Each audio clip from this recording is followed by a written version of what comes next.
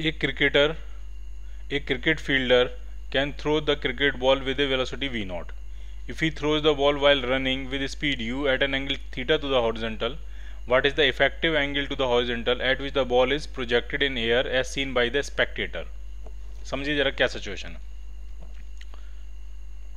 Situation इस तरह से कि वो जो पर्सन है, वो खुद दौड़ रहा है यू की स्पीड से। ठीक?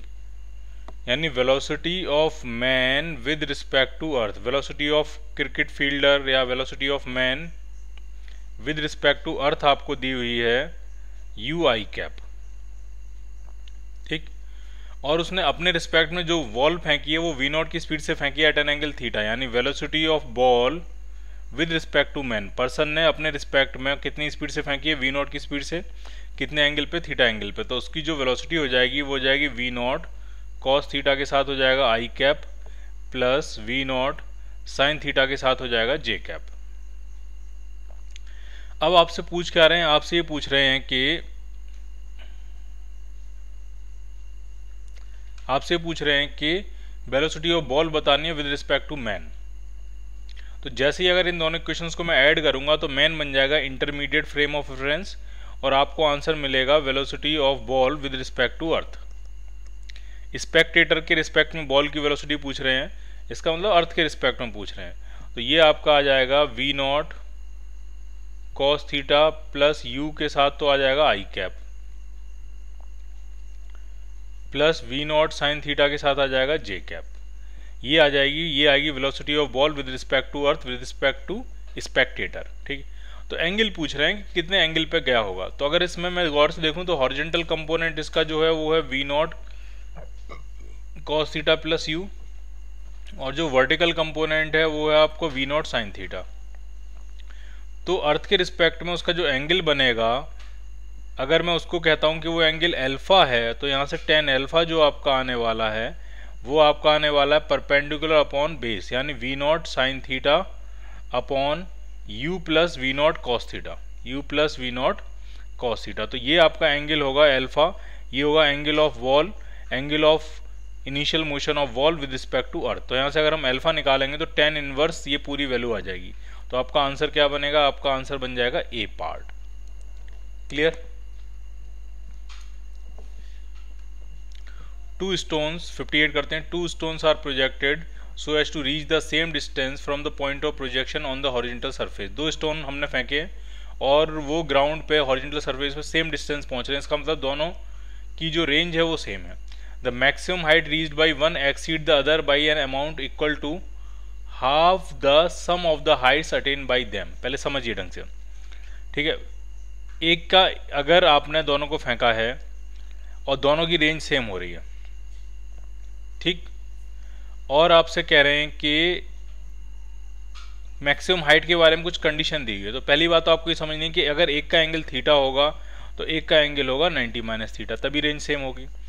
अब इसकी हाइट मैंने कहा है एच वन है और इसकी हाइट मैंने कहा एच टू है। तो अब देखो क्या क्या रहे मैक्सिमम हाइट की कंडीशन क्या थी वो आपको समझना है। The maximum height reached by one exceed the other यानी पहले ने जो मैक्सिमम हाइट अटेन करी है, वो दूसरे से कितनी ज़्यादा है? यानी h one minus h two के बारे में इंफॉर्मेशन दी है। कितनी एक्सीड कर रही है पहले की मैक्सिमम हाइट दूसरे से? By other by an amount equal to half the sum of the height attain by them कितनी ज़्यादा है तो वो है half times sum of the heights attain by them यानी half times h one plus h two के बराबर अब एंगल ऑफ़ प्रोजेक्शन पूछ रहे हैं स्मॉलर हाइट के लिए, ठीक है? स्मॉलर हाइट के लिए एंगल ऑफ़ प्रोजेक्शन क्या होगा, ठीक है? तो मैंने तो स्मॉलर हाइट एच टू मानी है तो एंगल ऑफ़ प्रोजेक्शन यानी 90 माइनस थीटा आपसे पूछ रहे हैं तो सॉल्व कर लेते हैं। H one minus h two equal to half times h one plus h two हो जा रहा है टू से इधर मल्टीप्लाई कर लेते हैं। तो two h one minus two h two जो आपका हो गया, वो आपका हो गया h one plus h two अलग अलग कर लेते हैं एच वन इधर ले आते हैं तो यहाँ बचेगा एच वन और एच टू को यहाँ ले आते हैं तो ये बचेगा three h two h one की वैल्यू डालेंगे तो ये आ जाएगा u square sine square theta upon two g ठीक? और ये बनेगा थ्री टाइम्स एच टू डालेंगे तो ये आ जाएगा u square sine square ninety minus theta तो ये बना आपका cos square theta upon two g तो यहाँ से टू जी से टू जी कैंसिल आउट हो गया यू स्क्वायर से यू स्क्वायर कैंसिल आउट हो गया। तो यहाँ से जो टेन स्क्वायर थीटा आपका आ रहा है, वो रूट थ्री के बराबर आ रहा है। तो यहाँ से जो टेन थीटा आपका आएगा, वो रूट थ्री आ जाएगा। इसका मतलब थीटा जो आया, वो आपका सिक्सटी डिग्री आया। थीटा आया आपको 60 डिग्री बट आंसर 60 डिग्री नहीं होगा, क्योंकि 60 डिग्री के करस्पॉन्डिंग जो हाइट है, वो तो ज़्यादा है, और दूसरा एंगल हो गया 30 डिग्री इसके करस्पॉन्डिंग हाइट कम है तो हमसे तो स्मॉलर हाइट के करस्पॉन्डिंग एंगल ऑफ़ प्रोजेक्शन पूछ रहे हैं तो आपका आंसर क्या बनेगा? 30 degree so your answer is C part clear A projectile A is thrown at an angle of 30 degree to the horizontal from point P. A projectile A is thrown at an angle 30 degree to the horizontal. एक projectile है A उसको point P से 30 degree angle पे v1 की speed से हम फेंक रहे हैं, ठीक और at the same time another projectile B is thrown with velocity v2 upward from the point q और q पॉइंट से एक दूसरा प्रोजेक्टाइल है बी उसको हमने v2 वेलोसिटी से अपवर्ड फेंक दिया गया ठीक अब पूछ रहे हैं इसमें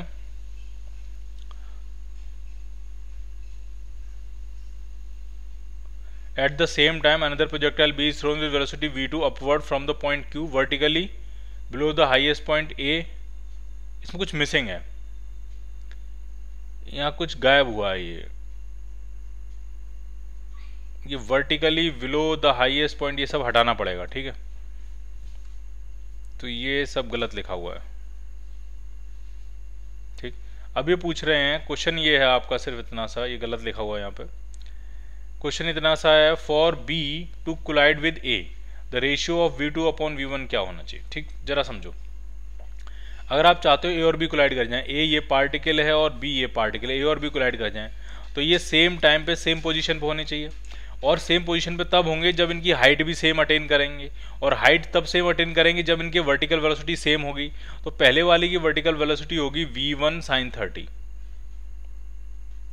और दूसरे वाले की वर्टिकल वेलोसिटी है v2 तो मेरी सिंपल सी इक्वेशन है कि v1 वन साइन थर्टी जो होगा, वो किसके बराबर होना चाहिए? V2 के बराबर। तो यहाँ से v1 one upon v two या v2 अपॉन वी वन का रेशियो मिल जाएगा आपको हाफ़ फिर से समझ लो, ये प्रोजेक्टाइल इस तरह से जाएगा, इस तरह से यहाँ पहुँचेगा और ये प्रोजेक्टाइल यहाँ पहुँचेगा और यहाँ हिट हो जाएँगे। तो ऐसा तभी हो सकता है जब दोनों ने वर्टिकल डिस्प्लेसमेंट दोनों का बराबर रहा हो। इक्वल टाइम में इक्वल वर्टिकल डिस्प्लेसमेंट लेना है तो दोनों की वर्टिकल स्पीड सेम होनी चाहिए। तो बस मैंने ये कर दिया कि दोनों की वर्टिकल स्पीड को क्या कर दिया? सेम कर दिया। और वहाँ से मुझे v two upon v one मिल जाएगा half so your answer is C part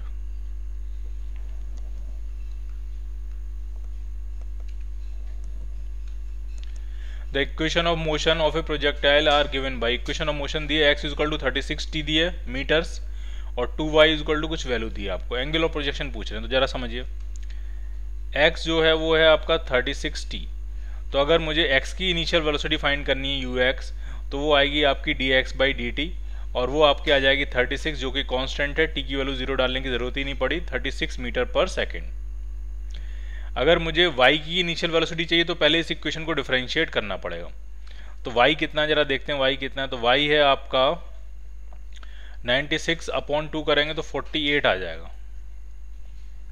48 t minus four point nine t square. चलो इसको डिफ्रेंशिएट कर रहे हैं। तो वर्टिकल वेलोसिटी आने वाली है d y over d t तो ये आपकी आ जाएगी forty eight t minus sorry forty eight सिर्फ़ फोर्टी एट टी नहीं आएगा, सिर्फ़ forty eight minus nine point eight t और अगर आपको इनिशियल वर्टिकल वेलोसिटी चाहिए तो इसमें टी की वैल्यू क्या डालोगे? आप ज़ीरो तो initial vertical velocity u y जो आपकी आ जाएगी, वो आपकी आ जाएगी 48 मीटर पर सेकेंड अब आपको अगर एंगल ऑफ़ प्रोजेक्शन चाहिए टेन थीटा तो इनिशियल एंगल ऑफ़ प्रोजेक्शन जो होगा, वो आपका हो जाएगा u y upon u x u y कितना है आपका 48 और यू एक्स कितना है आपका 36 तो आप चाहो तो इसको डिवाइड कर लो 12 से तो ये आ जाएगा 4 बाई थ्री तो थीटा आ गया tan inverse 4 by three tan theta कितना आ गया आपका? 4 बाई थ्री बट इंपॉर्टेंट बात यह है कि आंसर में कोई भी आंसर टेन के टर्म्स में नहीं है। सारे आंसर साइन के टर्म्स में तो अगर tan theta four by three है तो ये जो साइन थीटा आप निकालोगे, वो आपका फोर बाई फाइव आ जाएगा। कैसे? आप एक ट्राइंगल बना लो सिंपल टेन थीटा आपका, ये थीटा टेन थीटा अगर फोर बाई थ्री दिया तो ये फोर है थ्री है तो ये कितना हो जाएगा फाइव तो साइन थीटा कितना हो जाएगा? फोर बाई फाइव तो हम साइन थीटा के टर्म्स में आंसर लिख देंगे तो थीटा आपका बन जाएगा sine inverse four by five so your answer is A part clear A ball is thrown from a point with speed v naught at an angle of theta. From the same point and at the same instant a person start running with constant speed v naught by 2 to catch the ball. तो ऐसा question हम पहले भी कर चुके हैं तो draw कर लेते हैं कुछ इस तरह की सिचुएशन है आपने एक बॉल को फेंका है कितनी स्पीड से वी नॉट की स्पीड से कितने एंगल पे थीटा पे और उसी मोमेंट पे एक पर्सन ने क्या कर दिया वी नॉट बाई टू से दौड़ना शुरू कर दिया ताकि बॉल को वो पकड़ सके। तो बॉल को वो बिल्कुल पकड़ सकता है प्रोवाइडेड बॉल की हॉरिजेंटल वेलोसिटी और पर्सन की हॉरिजेंटल वेलोसिटी सेम होनी चाहिए। दोनों का हॉरिजेंटल मोशन सेम होना चाहिए, ताकि इक्वल टाइम में ये इक्वल हॉरिजेंटल डिस्टेंस ट्रेवल कर पाए। ताकि बॉल जब लौट के वापस ग्राउंड पे आए तो पर्सन का डिस्प्लेसमेंट हॉरिजेंटल और बॉल का हॉरिजेंटल डिस्प्लेसमेंट सेम हो, दोनों एक ही पोजीशन पे हो और पर्सन उस बॉल को पकड़ ले। तो सीधी सीधी सी इक्वेशन है कि वी नॉट कॉस थीटा जो है, वो किसके बराबर होना चाहिए? वी नॉट बाई टू के बराबर होना चाहिए। तो यहाँ से थीटा जो आपका आ जाएगा कॉस थीटा हाफ़ होगा तो थीटा कितना आ जाएगा? सिक्सटी डिग्री तो बिल्कुल पॉसिबल है, वो साठ फेंके और दौड़ लगा दे और वो बॉल को पकड़ लेगा। आपका आंसर क्या बनेगा इसमें? A part an arrow is short in air its range is 200 metre its time of flight is 5 second g की वैल्यू 10 दी है हॉरिजेंटल कंपोनेंट ऑफ़ वेलोसिटी और मैक्सिमम हाइट पूछ रहे हैं। तो मैक्सिमम हाइट तो आप सीधे सीधे टाइम ऑफ़ फ़्लाइट से निकाल सकते हो।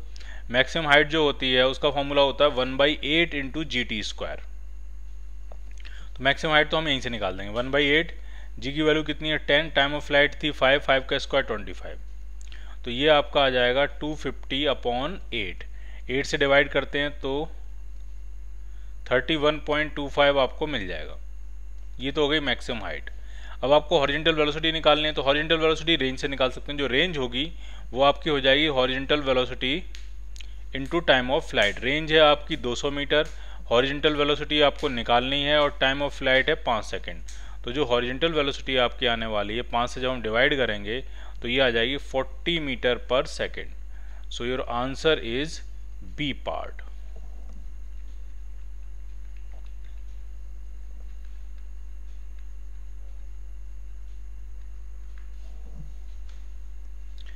the initial velocity of particle of mass 2 k g initial velocity दी है 4 आई प्लस फोर जे और एक कांस्टेंट फोर्स लग रहा है minus twenty j cap is applied on the particle initially the particle was at particle जो था वो ज़ीरो कॉमा ज़ीरो था। और find the x coordinate of the particle when its y coordinate is zero again ठीक है? आराम समझना particle का मास है टू के जी और इनिशियल वेलोसिटी तो एक तो वेलोसिटी एक्स में है फोर आई कैप एक वेलोसिटी वाई में है फोर जे कैप ठीक? और इस पे जो कांस्टेंट फोर्स लग रहा है, वो डाउनवर्ड डायरेक्शन में लग रहा है ट्वेंटी जे कैप ठीक है? Twenty j cap minus twenty j cap downward direction में न्यूटन का फोर्स लग रहा है। तो इनिशियली पार्टिकल जो है उसके कोऑर्डिनेट क्या है? ज़ीरो कॉमा ज़ीरो अब पूछ क्या रहे हैं आपसे? Find the x coordinate of the particle when its y coordinate is zero again तो वाई कोऑर्डिनेट ज़ीरो कब हो जाएगा? पहले हम वो निकालेंगे। तो आप आराम से समझिए। फोर्स है 20 न्यूटन का, मास है 2 के का। तो एसलरेशन आपका आ जाएगा। फोर्स अपॉन मास तो एसलरेशन आपका आ जाएगा 10 मीटर पर सेकेंड स्क्वायर का। और वर्टिकल वेलोसिटी है वाई डायरेक्शन की वेलोसिटी है फोर मीटर पर सेकंड एसलेशन है टेन का. तो कितनी देर में वाई कोऑर्डिनेट ज़ीरो हो जाएगा? तो ये ऊपर जाएगा और वापस आ जाएगा. तो टाइम अगर हम निकालेंगे तो टाइम टाइम ऑफ़ फ़्लाइट के बराबर होगा. तो वो आपका हो जाएगा two u by g two u by a तो ये आपका आ जाएगा टू यू कितना है? आपका फोर और ए कितना है? आपका टेन तो ये आपका हो गया point eight second point eight second में ये पार्टिकल लौट के वाई वापस आ जाएगा वाई कोऑर्डिनेट उसका फिर से ज़ीरो हो जाएगा। तो उतनी देर में एक्स कोऑर्डिनेट कितना होगा? तो एक्स कोऑर्डिनेट हो जाएगा एक्स की वेलोसिटी इनटू टाइम एक्स की velocity u x into time क्योंकि एक्स में कोई एसलेशन तो है नहीं। तो एक्स की वेलोसिटी है फोर मीटर पर सेकेंड और टाइम है आपका पॉइंट एट तो ये आपका आ गया thirty two three point two metre ठीक? अब आप इसको अगर प्रोजेक्टाइल से करना चाहो तो प्रोजेक्टाइल से भी कर सकते हो सेम क्वेश्चन को। कैसे समझिए जरा? इनिशियल वेलोसिटी दी है एक्स कंपोनेंट दिया है आपका फोर का और वाई कंपोनेंट आपका दिया है फोर का। और एसलरेशन आपने वाई डायरेक्शन में निकाला जो कि minus ten metre per second square आ गया वाई डायरेक्शन में। तो ये तो प्रोजेक्टाइल मोशन है। प्रोजेक्टाइल मोशन में वाई डायरेक्शन में ही तो एसलेशन होता है। डाउनवर्ड डायरेक्शन में और जी की वैल्यू टेन ही होती है। तो ये पूरा प्रोजेक्टाइल मोशन हो गया। और ये पूछ रहे हैं एक्स कॉर्डिनेट बताओ जो वाई कॉर्डिनेट दोबारा ज़ीरो हो जाएगा तो वाई कॉर्डिनेट जब दोबारा ज़ीरो होता है तो वो ग्राउंड पे आ जाता है। और उस टाइम का जो एक्स कॉर्डिनेट होता है, वो तो रेंज के बराबर होता है। यानी आपसे रेंज पूछ रहे हैं। और रेंज का फॉर्मूला होता है two u x u y upon g सारी वैल्यू डाल दो। आंसर आ जाएगा two into four into four upon g की वैल्यू टेन तो ये आपका आ गया three point two metres clear answer क्या बनेगा आपका? A part two balls are thrown simultaneously from ground with same velocity of ten metre per second but different angles of projection with horizontal both balls fall at the same distance five root three from the point of projection तो आप समझ लो आराम से। दोनों की initial velocity 10 metre per second है, इसकी भी 10 मीटर पर सेकंड और इसकी भी 10 मीटर पर सेकंड दोनों के एंगल इस तरह से हैं, ताकि उनकी रेंज सेम है। तो एक का एंगल अगर थीटा होगा तो एक का एंगल होगा 90 माइनस थीटा और दोनों की रेंज भी दी है, कितनी दी है? फाइव रूट थ्री मीटर्स दी है। अब दोनों के टाइम इंटरवल का गैप पूछ रहे हैं। इसका टाइम इंटरवल मान लिया टी वन है, इसका टाइम इंटरवल टी टू इनका गैप पूछ रहे हैं। तो सबसे पहले रेंज का फॉर्मूला लगा के थीटा फाइंड कर लेते हैं। तो रेंज का फॉर्मूला कितना होगा तो वो आपका हो जाएगा u square sine two theta upon g सारी वैल्यू डालते हैं। रेंज है आपकी five root three u square ten का square hundred sine two theta आपको निकालना है अपॉन जी की वैल्यू टेन तो एक ज़ीरो से ये ज़ीरो कैंसिल आउट हो गया फाइव से कैंसिल करेंगे टू टू इधर आ जाएगा तो ये तो रूट थ्री बाई टू हो गया। तो root three by two sine में तो सिक्सटी डिग्री होता है। तो ये टू थीटा हो गया आपका सिक्सटी डिग्री तो थीटा आपका आया थर्टी डिग्री तो पहली बात क्लियर होगी, पहले जो प्रोजेक्टाइल है उसका एंगल है थर्टी डिग्री और दूसरा जो प्रोजेक्टाइल है उसका एंगल हो गया sixty degree time of flight किसका ज़्यादा होगा? ऑब्वियसली साठ डिग्री वाले का टाइम ऑफ़ फ़्लाइट ज़्यादा होगा। तो कितना इनके टाइम में गैप होगा? तो हमें t two minus t one निकालते हैं। टी टू जो होगा minus t one t two कितना होगा? तो हो जाएगा two u sine sixty upon g minus t one कितना हो जाएगा? Two u sine thirty upon g g की वैल्यू यहाँ भी टेन है जी की वैल्यू यहाँ भी टेन है। तो टेन से टेन यहाँ कैंसिल आउट टेन से टेन कैंसिल आउट तो ये आपका आ जाएगा साइन सिक्सटी होगा root three by two two से टू कैंसिल आउट हो जाएगा तो यहाँ आ जाएगा root three minus sine thirty होगा हाफ़ टू से टू कैंसिल आउट हो जाएगा तो ये आ जाएगा वन तो उनकी जो टाइम का गैप है, वो आपका आएगा root three minus one seconds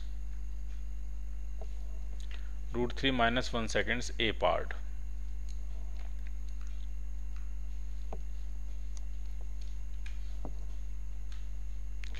A piece of marble is projected from Earth's surface with velocity 19.6 root 2 meter per second. 19.6 root 2 meter per second at an angle 45 two second later its velocity makes an angle alpha with the horizontal alpha angle पूछ रहे हैं तो आप आराम से समझो कितनी velocity है 19.6 रूट टू तो इसका x कंपोनेंट एंगल अगर 45 है तो x कंपोनेंट भी आ जाएगा 19.6 मीटर पर सेकेंड और वाई कंपोनेंट भी आ जाएगा 19.6 मीटर पर सेकेंड। और पूछ रहे हैं, दो सेकेंड के बाद इसकी वेलोसिटी क्या होगी? तो दो दो सेकंड के बाद इसका एंगल कितना होगा? तो मैंने कहा एंगल चलो अल्फ़ा है।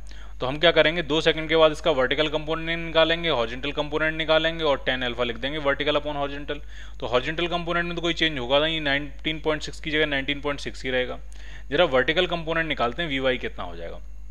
तो वी वाई होगा फॉर्मूला लगाने जा रहे हैं u minus g t initial velocity थी 19.6 वर्टिकल में माइनस जी की वैल्यू है 9.8 और टाइम है हमारा दो सेकेंड हम वर्टिकल मोशन में फ़र्स्ट इक्वेशन लगाने जा रहे हैं। इनिशियल वर्टिकल वेलोसिटी ऊपर की तरफ़ है, इसको हमने पॉजिटिव माना है। एसलेशन नीचे की तरफ़ है, उसको हमने फिर नेगेटिव माना है। तो ये आपकी कट के आ जा रही है ज़ीरो यानी दो सेकंड के बाद वर्टिकल वेलोसिटी ज़ीरो आ रही है। और वर्टिकल वेलोसिटी ज़ीरो होने का मतलब है वो अपने टॉप मोस्ट पॉइंट पे होगा दो सेकंड के बाद। और अगर टॉप मोस्ट पॉइंट पे होगा तो हॉरिजेंटली मूव कर रहा होगा तो उसका जो एंगल होगा हॉरिजेंटल से वो कितना होगा? Zero degree so your answer is D part ठीक? समझ में आई आपको? अगला क्वेश्चन देखते हैं।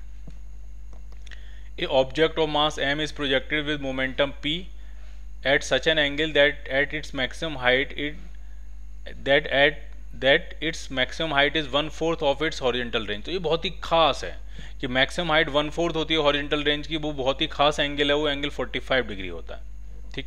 अगर आपको नहीं याद रहता तो वो फॉर्मूला आप लगा सकते हो कि आर टेन थीटा जो था, वो आपका फोर एच के बराबर था। अब इस क्वेश्चन में खुद ही कह रहे हैं कि जो रेंज है जो हाइट है वो रेंज का वन बाई फोर है। तो हाइट की जगह आर बाई फोर डालोगे तो फोर से फोर कैंसिल आर से r cancel tan theta one आ गया तो थीटा कितना आ जाएगा? फोर्टी फाइव वरना आपको याद भी रखना है कि फोर्टी फाइव एक स्पेशल केस है जिसमें जिसमें रेंज जो होती है वो मैक्सिमम हाइट की चार गुना होती है या जो मैक्सिमम हाइट होती है वो रेंज की वन बाई फोर होती है। तो एंगल पता लग गया आपको फोर्टी फाइव डिग्री ठीक, उसके बाद क्या कह रहे हैं? Its minimum kinetic energy in its path तो मिनिमम काइनेटिक एनर्जी तो टॉप मोस्ट पॉइंट पे होगी। और टॉप मोस्ट पॉइंट पे कितनी होगी मिनिमम काइनेटिक एनर्जी तो जो मिनिमम काइनेटिक एनर्जी होगी वो हो जाएगी हाफ़ एम और वी की जगह लिखेंगे वी कॉस 45 का होल स्क्वायर तो ये आपका आ जाएगा half m v square cos forty five one by root two होता है, उसका स्क्वायर करेंगे तो वन बाई टू आ जाएगा। तो ये आपका आ जाएगा m v square by four अब हमको चाहिए इनिशियल मोमेंटम के टर्म्स में। तो ऐसा करते हैं, एक मास से मल्टीप्लाई एक मास से डिवाइड तो ये बन गया इनिशियल मोमेंटम का स्क्वायर पी स्क्वायर तो आपका आंसर आया p square by four m ये होगी मिनिमम काइनेटिक एनर्जी और वो कहाँ होगी? उसके टॉप मोस्ट पॉइंट पे। P square by four m so your answer is B part a particle is projected with velocity of 30 meter per second at an angle of theta दिया है tan inverse 3 by 4 3 by 4 एक special angle होता है 37 degree होता है ठीक? After one second the particle is moving at an angle theta to the horizontal शुरुआत में एंगल था थीटा नॉट एक सेकंड के बाद अब उसका एंगल है थीटा तो टेन थीटा कितना होगा, वो आपसे पूछ रहे हैं। ड्रॉ कर लेते हैं, ये भी बहुत आसान है।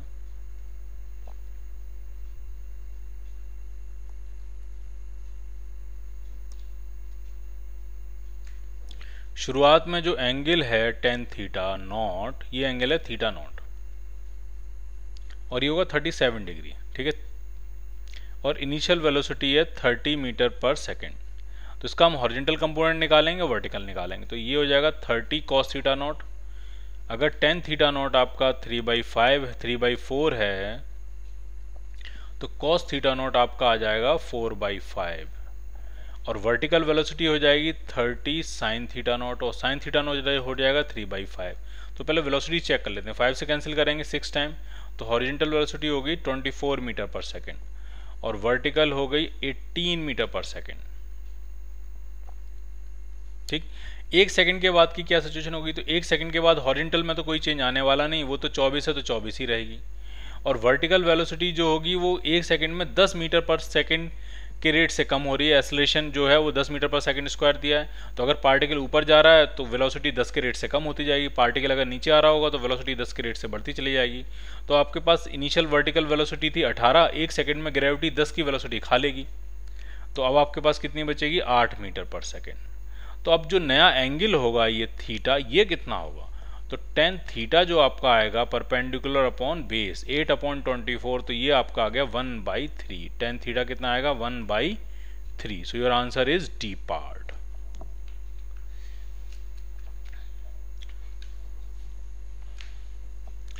a body is projected from the ground with velocity three i cap plus ten j cap the maximum height attained and the range of the body respectively ठीक है? तो इसमें दोनों वेलोसिटी हैं आपके पास। आपके पास यू एक्स भी है थ्री और आपके पास यू वाई भी है टेन और जी की वैल्यू टेन है ही। तो मैक्सिमम जो हाइट होगी, वो तो होती है वर्टिकल वेलोसिटी का स्क्वायर अपॉन टू जी तो ये आपका हो जाएगा टेन का square hundred upon two g मतलब ट्वेंटी तो मैक्सिमम हाइट होगी पाँच मीटर। ठीक? और रेंज का फॉर्मूला होता वो था two times u x into u y upon g तो ये बन जाएगा two into three into ten upon ten तो रेंज आपकी होगी छः मीटर। मैक्सिमम हाइट पाँच मीटर रेंज छह metre. So your answer is A part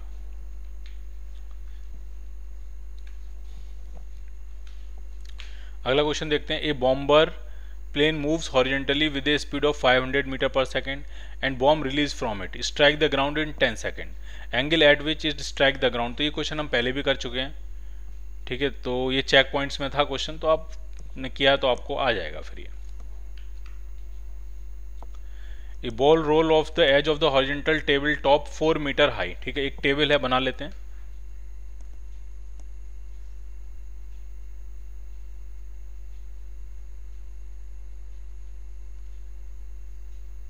ये टेबल का एक हिस्सा बने बनाया है, और यहाँ से एक बॉल जो है वो रोल कर रही है। बॉल जो है वो रोल करती हुई आ रही है। कितनी स्पीड से आ रही है, वो आपको नहीं दिया, लेकिन ये जो हाइट है, ये जो हाइट दी है, वो आपको चार मीटर दी है। काफ़ी ऊँची टेबल है। और वो फ्लोर पे कितना दूर जाके हिट करती है तो पाँच मीटर दूर जाके वो हिट करती है, इस तरह से।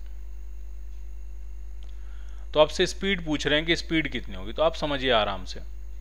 जो रेंज का फॉर्मूला होता है, वो होता है horizontal speed into time of flight और time of time of flight होता है under root two h by g अब आपके पास सिर्फ़ यू नहीं है, बाकी सब कुछ है। रेंज है आपकी पाँच मीटर यू आपको निकालना है। और एच होगा आपका टू टाइम्स एच कितना है? फोर मीटर अपॉन जी की वैल्यू कितनी मान ली हमने? टेन ठीक? तो हमें तो यू चाहिए तो यू आपका आ जाएगा फाइव टाइम्स टू से कैंसिल करेंगे ये फाइव टाइम्स तो ये आ जाएगा five root five upon four के अंडर रूट से टू बाहर आ जाएगा। तो आप इसको थोड़ा सॉल्व कर लो, आपको लगभग लगभग कुछ आंसर मिल जाएगा। ठीक है फाइव पॉइंट कुछ आंसर ही मिलेगा फाइव पॉइंट फाइव कुछ या six point five six point five तो शायद नहीं मिलेगा फाइव पॉइंट फाइव के आसपास कुछ आपको आंसर मिलेगा वो आप खुद से कर लेना सॉल्व सेटल इसको ठीक? तो या तो ये आंसर बन जाएगा ये आंसर बन जाएगा। मुझे ऐसा लगता है कि सी पार्ट आंसर बनेगा। A ball is projected upward from the top of a tower with velocity 25 meter per second, making an angle of 30 degree with the horizontal. एक बॉल को हमने किसी टॉप ऑफ़ टॉवर से project किया, कितने angle पे? 30 degree पे। कितनी स्पीड से? 25 मीटर पर सेकंड से। टॉवर की हाइट दी है 70 मीटर पूछ रहे हैं फेंकने के कितनी देर के बाद बॉल जो है वो ग्राउंड पे पहुँच जाएगी? ठीक है तो आप आराम से समझिए इसको। अच्छा क्वेश्चन है ये, ढंग से देखेंगे इसको।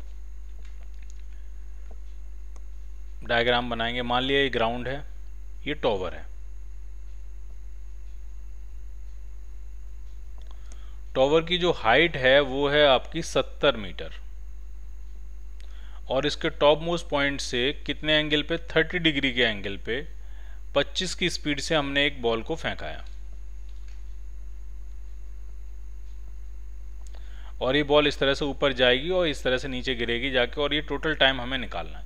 तो टाइम निकालने के लिए कौन सा मोशन कंसीडर करते हैं? वर्टिकल मोशन तो वर्टिकल वेलोसिटी कितनी हो जाएगी? तो वो हो जाएगी 25 साइन 30 साइन 30 होता है हाफ़ तो वो हो गई आपकी 25 five by two metre per second और वर्टिकल में एसोलेशन जी जो है वो डाउनवर्ड होगा। जी जो होगा होगा वो क्या होगा आपका डाउनवर्ड उसकी वैल्यू कितनी है? Ten metre per second square तो हम वर्टिकल मोशन की इक्वेशन लगाने जा रहे हैं। H is equal to u t plus half a t square की इक्वेशन ठीक है, आराम से देखते जाइए। और वर्टिकल डाउनवर्ड डायरेक्शन में मान रहा हूँ पॉजिटिव आपका कन्वेंशन है, आप कोई भी डायरेक्शन पॉजिटिव मान सकते हैं। तो डिस्प्लेसमेंट कितना होगा? वर्टिकल डायरेक्शन में डिस्प्लेसमेंट कितना होगा वो समझिए। तो वर्टिकल में तो पहले ये बॉल ऊपर जाएगी, फिर नीचे आके गिरेगी। तो ओवरऑल इनिशियल पॉइंट और फाइनल पॉइंट के बीच में वर्टिकल डिस्प्लेसमेंट सत्तर मीटर है। ये समझ में आया आपको?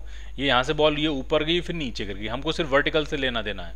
तो इनिशियल वर्टिकल लेवल ये था। और फाइनल वर्टिकल लेवल ग्राउंड का है तो इनिशियल वर्टिकल लेवल और फाइनल वर्टिकल लेवल में कितना गैप है? 70 मीटर तो वर्टिकल डिस्प्लेसमेंट आपका 70 मीटर अब प्लस 70 के माइनस सत्तर तो मैंने डाउनवर्ड डायरेक्शन पॉजिटिव ली है।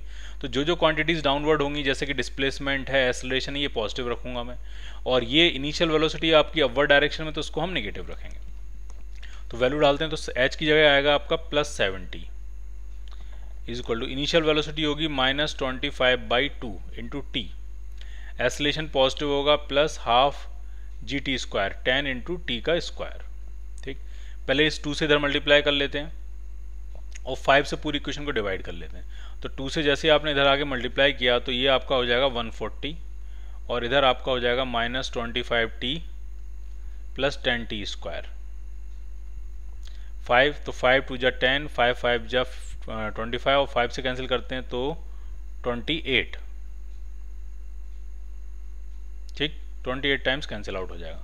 तो ये जो क्वाड्रेटिक इक्वेशन बन रही है, जिसके रूट से हमें आंसर मिलने वाला है, वो बन रही है आपकी two t square minus five t minus twenty eight is equal to zero twenty eight के फैक्टर्स करते हैं। ठीक? Seven into two into two और एक टू ये भी है तो इंटू टू अब इनको फैक्टर्स को दो ग्रुप में हमें डिवाइड करना ताकि फाइव मिल जाए। ठीक तो ये बन जाएगा फोर्टीन और ये बन जाएगा फोर तो ये आपका आया seventy square minus fourteen t plus four t minus twenty eight is equal to zero quadratic equation settle कर रहे हैं। तो पहले वाले में से अगर हम टू टी कॉमन ले लें तो ये बचने वाला टी माइनस सेवन और दूसरे वाले में से अगर हम फोर कॉमन लें तो ये आने वाला टी माइनस सेवन तो दो फैक्टर्स बन गए। एक फैक्टर तो बन गया t minus seven is equal to zero और एक फैक्टर बन गया two t plus four is equal to zero तो एक आंसर आपका आ गया t is equal to seven second और एक आंसर आ गया t is equal to minus two seconds तो जो आपका आंसर मैच करेगा वो कौन सा आंसर मैच करेगा? सात सेकेंड तो सात सेकेंड के बाद वो जो पार्टिकल है वो कहाँ पहुँच जाएगा? ग्राउंड पे पहुँच जाएगा। So your answer is C part ठीक? आंसर क्या बनेगा आपका? सी पार्ट तो ये आपको समझ में आनी चाहिए, हमने पूरा सेटल कैसे किया है? हमने कौन सा मोशन कंसीडर किया? टाइम ऑफ़ फ़्लाइट निकालने के लिए जनरली हम क्या कंसीडर करते हैं? वर्टिकल मोशन और वर्टिकल में कोई भी डायरेक्शन आप पॉजिटिव मान सकते हो। मैंने डाउनवर्ड डायरेक्शन क्या मानी थी? पॉजिटिव और उसके हिसाब से मेरी क्वांटिटीज प्लस माइनस हो गई। और वर्टिकल मोशन की क्वेश्चन लिख रहे हैं तो वर्टिकल डिस्प्लेसमेंट आएगा आपका एच की तरफ़। ठीक है ओवरऑल इधर कहाँ गया है हॉरिजेंटल में कितना डिस्प्लेसमेंट हुआ वो मतलब नहीं आपको सिर्फ़ और सिर्फ़ किससे मतलब है वर्टिकल डिस्प्लेसमेंट और वर्टिकल डिस्प्लेसमेंट होगा इनिशियल लेवल और फाइनल लेवल के बीच का gap clear From the top of a tower of height 40 meter, a ball is projected upward with a velocity of 20 meter per second at an angle of 30 degree. The ratio of the time taken by the ball to hit the ground to the time of flight. ठीक है तो अभी हमने ground पे hit करने का time हमने एक निकाला था। तो बिल्कुल उसी तरह से आप इस क्वेश्चन में भी पूरा ग्राउंड तक पहुँचने का टाइम निकाल लोगे। और जो टाइम ऑफ़ फ़्लाइट है उसका मतलब उसी सेम लेवल तक आने का टाइम तो वो तो simple two u sine theta by g होता है, वो आपको वैसे ही पता है। तो दोनों टाइम आप आराम से सॉल्व करो और आप उसका रेशियो निकालो। Clear The coordinates of a moving particle at any time t are given by x is equal to ct and by is two v t square speed of particle पूछ रहे हैं speed की question क्या बनेगी? तो बहुत आसान है एक्स जो है वो सी टी है। तो एक्स की जो वेलोसिटी होगी वी एक्स तो इसको डिफ्रेंशिएट करेंगे तो वो सी आ जाएगा। और वाई जो है वो आपका बी टी स्क्वायर है। तो वाई की जो वेलोसिटी आएगी वी बाई इसको डिफ्रेंशिएट करेंगे तो टू टू वी टी आ जाएगा। और नेट वेलोसिटी निकालनी है तो under root of v x square plus v y square तो वो आपका आ जाएगा c square plus four b square t square तो ये नेट वेलोसिटी आपकी आ जाएगी। Clear so your answer is B part two particles A and B are projected simultaneously from a fixed point of the ground. Two particles are projected एक साथ project किए हैं एक ही फिक्स पॉइंट से particle A is projected on the smooth horizontal surface with velocity v. while B is projected in air with speed 2v by root 3. If particle B hits a particle A, the angle of projection B with the vertical is. आराम से समझिए क्या situation है। देखिए इसको हम draw करेंगे। एक साथ एक ही पॉइंट से दोनों पार्टिकल प्रोजेक्ट किए जा रहे हैं ये मान लिया ग्राउंड है। पार्टिकल ए को प्रोजेक्ट कर रहे हैं स्मूथ हॉरिजेंटल सरफेस पे विद स्पीड वी ठीक है? तो ये आपका मान लिया पार्टिकल ए है। ये पार्टिकल ए है। इसको हमने स्मूथ हॉरिजेंटल सरफेस पे फेंका है, कितनी स्पीड वी से। तो ये वी की स्पीड से ऐसे स्लिप करता हुआ चला जाएगा स्मूथ सरफेस है। और जो दूसरा पार्टिकल है, वो भी उसके एकदम पास है, उसको हमने फेंका है कितनी स्पीड से? तो वो स्पीड है आपकी two v by root three से। कितने एंगल पे ये नहीं बताया बट ये कहा है कि पार्टिकल बी जो है पार्टिकल ए को हिट कर देता है। तो जब पार्टिकल ए ऐसे आएगा पार्टिकल बी ऐसे आएगा, और पार्टिकल ए और पार्टिकल बी आपस में दोबारा से कोलाइड हो जाते हैं। तो ऐसा तभी हो सकता है जब पार्टिकल बी की हॉरिजेंटल वेलोसिटी और पार्टिकल ए की हॉरिजेंटल वेलोसिटी सेम हो।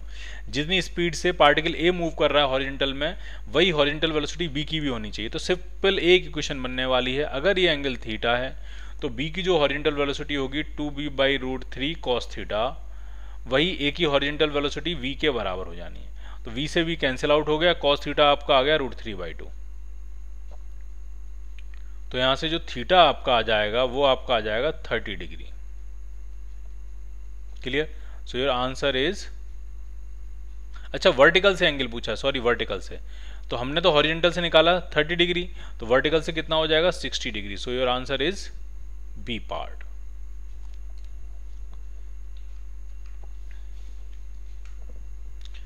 An object is projected with a velocity of 20 meter per second, making an angle 45 degree with the horizontal. The question of trajectory h is equal to, h मतलब height है, जिसको हम y लिखते हैं, is equal to a x minus b x square. X आपकी horizontal distance है, h आपकी height है, जिसको मैं वाई लिखता हूँ, ए और बी आपके कांस्टेंट है, ए और बी का रेशियो पूछा तो बहुत ही आसान है। जो इक्वेशन होती है वाई इज़ इक्वल टू, वो आपकी होती है x tan theta minus g x square upon two u square cos square theta अब आप इक्वेशन से अगर कंपेयर करोगे तो पहला जो अननोन ए है, वो तो टेन थीटा के बराबर है। तो ए की वैल्यू तो आपको पता लगी कि ए जो है एंगल 45 है टेन फोर्टी फाइव वन होता है। ठीक? और जो दूसरा कांस्टेंट है, वो पूरा है g upon two u square cos square theta तो वो है g upon two u square cos square theta ये है पूरा कांस्टेंट बी ठीक? जरा वैल्यू डालते हैं। जी की वैल्यू है टेन अपॉन टू यू की वैल्यू है ट्वेंटी ट्वेंटी का स्क्वायर करेंगे तो फोर हंड्रेड हो जाएगा। और cos forty five one by root two होता है, उसका स्क्वायर करेंगे तो वन बाई टू हो जाएगा। तो ये कॉन्स्टेंट आपका आया बी थोड़ा सॉल्व करते हैं कितना होगा टू से टू कैंसिल आउट हो जाएगा, एक ज़ीरो से एक ज़ीरो कैंसिल आउट हो जाएगा।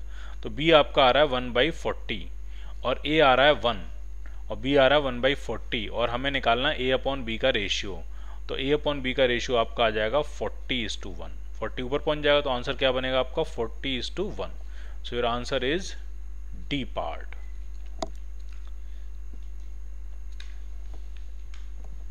a particle a particle is projected from horizontal making an angle of 53 degree with initial velocity of 100 meter per second time taken by the particle to make an angle of 45 degree with the horizontal ठीक अब आराम से देखिए इसको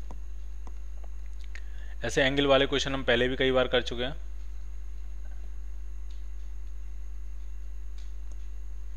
शुरुआत में जो आपने फेंका, उसको 53 डिग्री से फेंका है। कितने एंगल कितने स्पीड से फेंका है?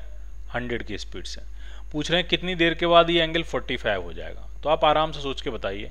हॉरिजेंटल कंपोनेंट कितना होगा? तो वो हो जाएगा 100 कॉस 53 कॉस 53 होता है आपका 3 बाई फाइव तो ये आपका हो जाएगा 60 मीटर पर सेकेंड और वर्टिकल वेलोसिटी हो जाएगी आपकी साइन 53 100 साइन 53 साइन 53 होता है 4 बाई फाइव तो ये हो गई आपकी 80 मीटर पर सेकेंड। टी टाइम के बाद एंगल 45 हो गया है। तो टी टाइम के बाद हॉरिजेंटल वेलोसिटी तो जो है वही रहेगी 60 मीटर पर सेकेंड। वर्टिकल कितनी होगी? तो वर्टिकल आपकी होगी 80 माइनस जी टी और आप चाहते हो एंगल 45 हो तो 45 तभी हो सकता है जब वर्टिकल वेलोसिटी और हॉरिजेंटल वेलोसिटी सेम हो जाए। तो मैं सेम कर देता हूँ। 80 माइनस जी की वैल्यू है 10 into t. Eighty minus g t is equal to horizontal velocity कितनी है? 60 तो यहाँ से अगर आप टाइम निकालोगे तो टाइम आपका आ जाएगा दो सेकंड तो दो सेकंड के बाद उसकी जो वेलोसिटी है वो हॉरिजेंटल से 45 एंगल बना रही होगी। अब जरा समझिए, इसमें एक आंसर है दो सेकंड और एक आंसर 14 सेकंड 14 सेकंड भी आंसर हो सकता है, समझिए क्या? ज़रूरी थोड़ी ना एक बार एंगल 45 बनेगा, दूसरी बार यहाँ पे भी तो एंगल 45 बनेगा। ये भी तो आपको समझ में आना चाहिए कि ये वाला एंगल भी तो 45 होगा। तो अगर यहाँ से यहाँ तक के ये दो सेकंड हैं तो यहाँ से यहाँ तक के भी दो सेकंड होंगे। तो ये टाइम निकालने के लिए हम पूरे टाइम ऑफ़ फ़्लाइट में से दो सेकंड माइनस कर सकते हैं। तो पूरा टाइम ऑफ़ फ़्लाइट कितना आने वाला है तो वो आपका आ जाएगा two u sine theta upon g तो ये आपका आ जाएगा टू यू यू कितना था हंड्रेड और साइन 53 होता है आपका four by five upon g की वैल्यू टेन तो ये ज़ीरो से एक ज़ीरो कैंसिल आउट हो गया फाइव से कैंसिल करेंगे ये टू टाइम्स तो ये आपका आ रहा है 16 सेकेंड्स और 16 सेकंड पूरा टाइम ऑफ़ फ़्लाइट है, उसमें से दो सेकंड माइनस कर देंगे, यानी t is equal to fourteen second पे भी उसकी जो वेलोसिटी वेक्टर है, वो हॉरिजेंटल से 45 का एंगल बनाएगा नीचे की तरफ़। दो सेकंड पे बनाएगा ऊपर की तरफ़ और चौदह सेकंड पे बनाएगा नीचे की तरफ़ तो आपका आंसर बनेगा C part both A and B ठीक?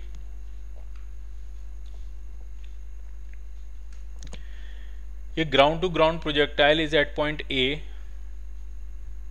at t is two t by by 3 and is point B at t is equal to 5 t by 6 समझते हैं जरा इसको। अच्छा क्वेश्चन है ये। एक ग्राउंड से ग्राउंड प्रोजेक्टाइल जा रहा है और वो एक पॉइंट ए पे होता है टी बाई थ्री टाइम पे और एक कोई दूसरा पॉइंट है बी पे होता है five t by six time पे। ठीक है? और ग्राउंड पे पहुँच जाता है कैपिटल टी टाइम पे। तो उनकी हाइट्स का डिफरेंस पूछ रहे हैं। तो पहले ड्रॉ करते हैं इसको।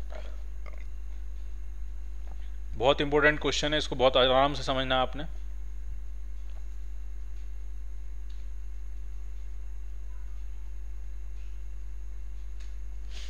मान लिया इस तरह की सिचुएशन है। टी इजक्वल टू ज़ीरो पे आपने इसको फेंका, ठीक? और t is equal to t capital t time पे वो ग्राउंड पे पहुँच गया। तो टॉप मोस्ट पॉइंट पे कितना होगा? टी बाई टू टाइम पे, यहाँ टाइम कितना होगा? टी बाई टू तो टी बाई थ्री तो उससे पहले ही कहीं होगा। तो टी बाई थ्री टाइम पे कहीं वो यहाँ होगा। इस टाइम टी बाई थ्री पे किसी पॉइंट पे है, उस पॉइंट का नाम है ए और five t by six five t by six कहीं यहाँ होगा? टी से टी बाई सिक्स पहले ही तो है बस। तो फाइव टी बाई सिक्स जो है वो कहीं यहाँ होगा और ये पॉइंट है आपका बी और आपको इनकी हाइट का डिफरेंस बताना है कि इनकी हाइट का डिफरेंस कितना होगा? ए की हाइट कितनी है? बी की हाइट कितनी है? इनका डिफरेंस कितना होगा? मतलब उनके लेवल के में गैप पूछ रहे हैं कि बी का लेवल और ए के लेवल में ये गैप कितना आने वाला है? ये डिफरेंस ये चाहिए आपको, ये डेल्टा एच चाहिए। ठीक? ये आपको डेल्टा एच चाहिए। अब जरा समझिए आप। देखो टी बाई टू और टी बाई थ्री में कितना टाइम गैप होता है तो टी बाई सिक्स का टाइम गैप होता है t by two minus t by three करेंगे तो टी बाई सिक्स का टाइम गैप है तो ए का जो ए की जो लेवल है वो टी बाई थ्री टाइम पे है और वही लेवल टी बाई टू के बाद टी बाई सिक्स टाइम के बाद भी वही लेवल आपको ए का मिलेगा यहाँ पे ये समझ में आपको यानी टॉप मोस्ट पॉइंट पे आने के टी बाई सिक्स टाइम के बाद आपको वही ए का लेवल मिल जाएगा तो अगर मैं ये हाइट निकालना चाहूँ एच वन तो एच वन निकालना बहुत ही आसान है। क्यों? क्योंकि इन्हीं टॉप मोस्ट पॉइंट पे वर्टिकल वेलोसिटी ज़ीरो होती है। और उसके बाद ए के लेवल तक का पहुँचने का टाइम है टी बाई सिक्स तो जो एच वन होगा, वो simple half g t square हो जाएगा। हाफ़ जी और टी की जगह क्या डालोगे आप? टी बाई सिक्स का स्क्वायर ये कंसेप्ट आपको समझ में आया? फिर से समझो। ए पॉइंट और बी पॉइंट के बीच में टाइम गैप था T by six B point पे आप सॉरी बी नहीं। टॉप मोस्ट पॉइंट पे पहुंचोगे टी बाई टू टाइम पे। और ए पॉइंट पे आप टी बाई थ्री टाइम पे। तो उनके बीच का जो टाइम गैप होगा, वो होगा t by two minus t by three करोगे तो टी बाई सिक्स आ जाएगा। अब मैं ये कह रहा हूँ कि अगर आप टॉप मोस्ट पॉइंट से टी बाई सिक्स टाइम पहले अगर पॉइंट ए पे थे, उस लेवल पे थे तो टॉप मोस्ट टाइम पॉइंट के टी बाई सिक्स टाइम के बाद भी तो आप उसी लेवल पे आ जाओगे सिमेट्रिक होता है ना मोशन तो टॉप मोस्ट पॉइंट से नीचे की तरफ़ मोशन कंसिडर करने का फ़ायदा यह है कि टॉप मोस्ट पॉइंट पे वर्टिकल वेलोसिटी ज़ीरो होती है। और वर्टिकल वेलोसिटी ज़ीरो है तो एच की इक्वेशन सीधे बन जाएगी हाफ़ जी टी स्क्वायर तो टॉप मोस्ट पॉइंट से ए तक पहुँचने में जो हाइट एच वन कवर हो रही है, उसमें जो टाइम लग रहा है वो है टी बाई सिक्स तो एच वन की हाइट निकालने के लिए सीधे मैंने हाफ़ जी टी स्क्वायर का फॉर्मूला लगा दिया और टी की जगह टी बाई सिक्स डाल दिया. अब जरा बी पॉइंट तक पहुँचने का टाइम कितना होगा? तो ए पॉइंट तक पहुँचने का सॉरी टॉप मोस्ट पॉइंट तक का टाइम है टी बाई टू और बी तक का टाइम है फाइव टी बाई सिक्स तो टॉप मोस्ट से बी तक पहुँचने का टाइम कितना होगा? तो वो टाइम अगर मैं निकालूं तो वो हो जाएगा आपका five t by six minus t by two तो एलसीएम आपका आ गया सिक्स तो ये आ जाएगा फाइव टी और ये आ जाएगा थ्री टी तो ये आ जाएगा two t by six two t t by six का मतलब टी बाई थ्री तो टॉप मोस्ट पॉइंट से बी तक पहुँचने का टाइम है टी बाई थ्री तो अगर टॉप मोस्ट पॉइंट से बी तक की हाइट अगर निकाली जाए, ये पूरी हाइट अगर निकाली जाए एच टू हाइट या डेप्थ कहना चाहिए मुझे इसको।